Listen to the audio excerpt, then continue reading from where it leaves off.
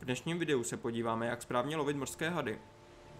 Většina lidí, když ho potká poprvé, bude se s ním snažit bojovat na otevřeném moři, stejně jako my v tomhle příkladu.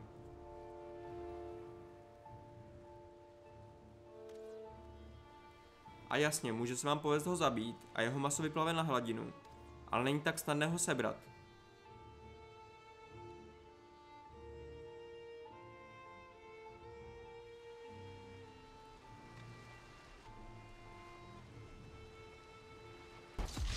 Proto pokud nechceme dopadnout podobně, na lov se trochu lépe připravíme.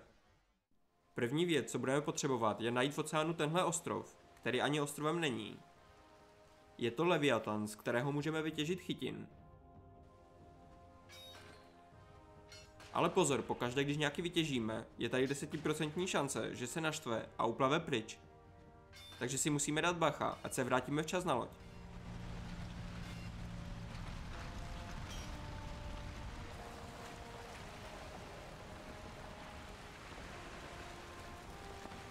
Doma si pak z natěženého chytinu vyrobíme harpunu. Normálně bych si na takový lov vzal větší loď, ale teď to zkusím je zmenší, jen aby jsme viděli, jestli to půjde. Teď musíme vyplout až na otevřený oceán, takže budeme pozorně sledovat mapu, kdy se nám změní biom. Když jsme v oceánu, nezbývá než plout pořád dál a čekat, až se objeví.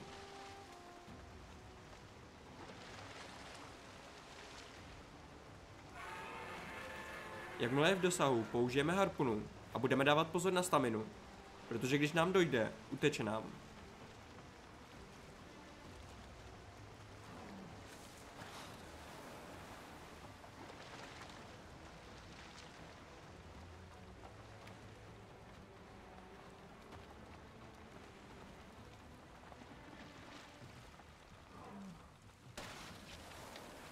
Až teď, když mi zautočil na loďku, uvědomil jsem si, že jsem ji zapomněl před plavbou opravit. Takže po naučení do budoucna pro vás. Já budu jen doufat, že to loďka vydrží.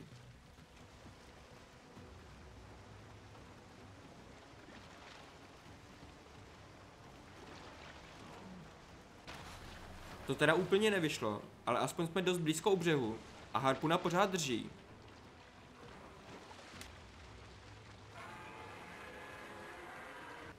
Když ho máme konečně na souši, vytáhneme ho pro jistotu ještě trochu dál od břehu, protože jakmile začneme útočit, bude se snažit zdrhnout.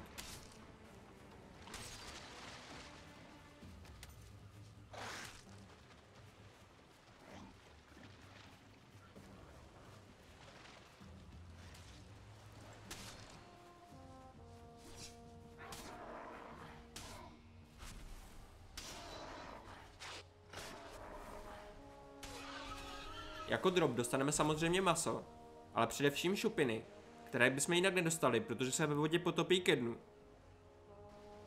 Důležité je ještě zmínit, že lov hadů je určitě o jednodušší ve dvou, kdy jeden hada drží a druhý ho může pohodlně zabít.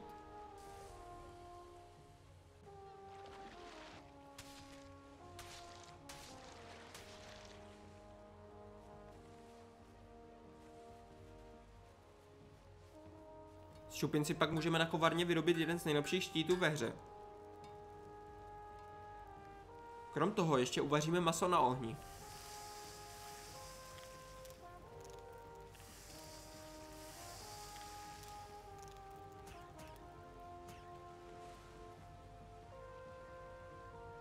Hodíme do kotlíku s medem a houbami. A máme hadí polívku, která patří mezi nejlepší jídla ve hře. Pokud se vám návod líbil, nezapomeňte dát like, odběr a uvidíme se u dalšího videa.